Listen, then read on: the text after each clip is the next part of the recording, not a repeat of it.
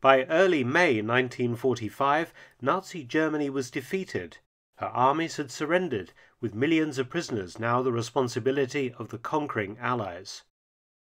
The cities lay mostly in ruins after years of Allied bombing and then ground fighting, with millions of Germans homeless or displaced.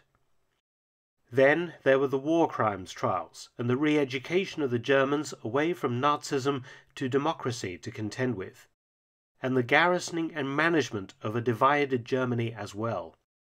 In 1945, Germany as a nation state had ceased to exist. It was instead four occupation zones American, British, and French in the west, and Soviet in the east. Berlin, the old German capital, was in the Soviet east, but was itself divided into American, British, French, and Soviet occupation zones. For the Americans, they faced a problem in garrisoning their occupation zones. Men to do it.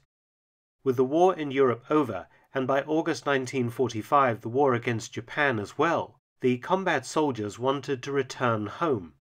In the US zone, the US Army operated a system of points. The more points a soldier had accrued in war service, the higher likelihood of his being discharged back to civilian life at war's end huge numbers of experienced troops were therefore sent back stateside.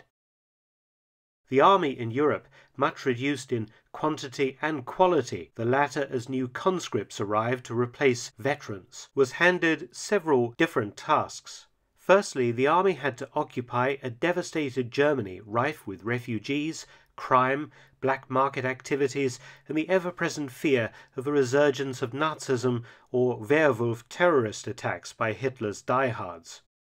Then there was the important role of defending the US zones against the Soviets. The Cold War broke out pretty quickly after the end of the Second World War, and Germany was the uneasy frontier between two competing ideologies. The Americans realized that in order to effectively police their zones, they needed highly mobile troops. So the decision was taken to create the United States Constabulary by re-rolling troops from armored divisions and mechanized cavalry units. The force was activated on the 10th of February 1946, initially with 30,000 men drawn from the US occupation forces in Germany. Ten constabulary regiments were established, each of three squadrons, each squadron having five troops. Heavy equipment included a light tank troop with M24 Chaffees. The other troops used jeeps armed with 30 caliber machine guns and M8 armored cars and were simply renamed Mechanized Cavalry Reconnaissance Squadrons from World War II. But there was one big difference between the World War II mechanized cavalry reconnaissance units and the constabulary. Each squadron also possessed one platoon of horse cavalry. It seemed almost an anachronism for the extremely mechanized US Army, but it would make sense. During the European campaign, the US Army had used no horses whatsoever.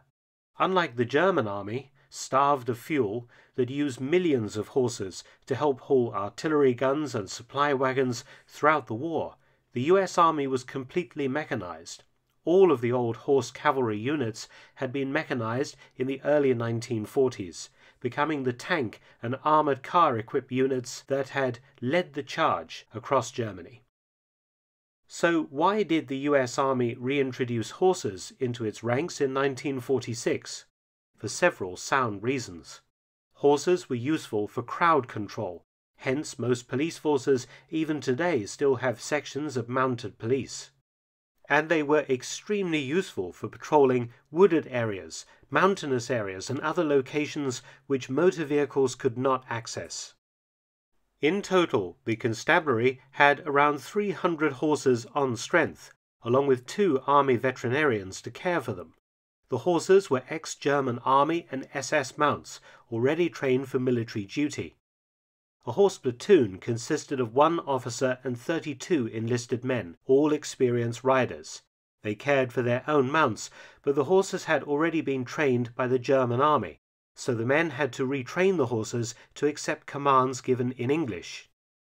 Overall, the US Constabulary would actively police 43,000 square miles of southern Germany and bits of Berlin. That's 16 million Germans who came under US Constabulary control. Commanding the constabulary was World War II veteran Major General Ernest N. Harmon, who previously commanded the 1st and 2nd Armored Divisions and later the 22nd Corps in Europe. A no nonsense, direct leader, Harmon used Hermann Goering's personal train as his home from home, enabling him to visit his units dispersed all over Germany. Constabulary central headquarters was in the largely undamaged university city of Heidelberg. A special training school for the constabulary operated out of Sonthofen Castle, previously a Nazi leadership training academy, and was nicknamed the Constabulary West Point after the famous US military academy. Graduates were trained as both soldiers and policemen, learning police tactics such as searching suspects, making arrests, and handcuffing. The recruitment requirements for constabulary troopers were stringent. The men had to be at least 5 feet 7 inches tall and a minimum of 140 pounds stripped, did not wear glasses, and were intelligent, honest, loyal, and observant. In order to distinguish constabulary soldiers from regular U.S. Army personnel, they wore M1 helmet liners with a blue stripe sandwiched between two bright yellow stripes, with the constabulary badge on the front. They also wore yellow scarves and special boots, basically cut down cavalry boots worn with trouser legs bloused like paratroopers. Personnel mounted on horses wore pre war riding breeches, four pocket blouses, and high cavalry boots.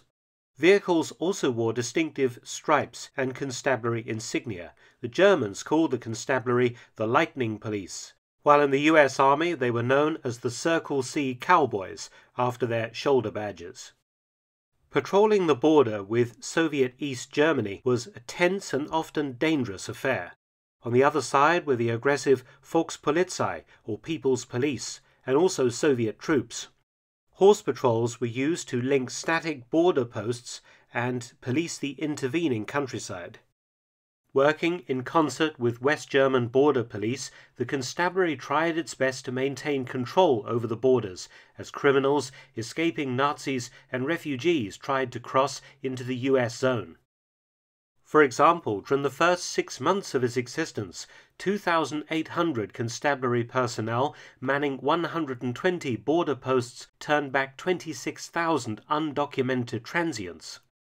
In 1946, the first armed German unit since the war was created to assist the constabulary, the Land Border Police, wearing World War II uniforms dyed dark blue and with German and US weapons. All small constabulary units would have at least one German policeman with them at all times. But by 1948 it was clear that the mission of the constabulary was evolving from policing the US occupation zones to the defense of West Germany from the Soviet Union. More regular army units, including artillery, were assigned to the constabulary until it was finally inactivated in 1952. But during its six years of operations, the constabulary had played an important role in restoring order to post war Germany breaking up organized crime, and tracking down wanted war criminals. Its mobility, including most importantly its horse patrols, allowed it to cover large areas of southern Germany and West Berlin. And the mounted platoons of the Circle C Cowboys were the last regular horse cavalry used by the US Army, proving that the horse still had a role in the age of atomic warfare. Though no longer in frontline service, today horses continue in U.S. Army service, though only in a ceremonial role. Since 1972, 40 horses from the 1st Cavalry Division Horse Cavalry Detachment are at Fort Hood in Texas. Thanks for watching. Please subscribe and share. And don't forget to check out my new audiobook channel, War Stories with Mark Felton, link in the description box below. You can also help to support my channels at PayPal and Patreon. See the description box for details.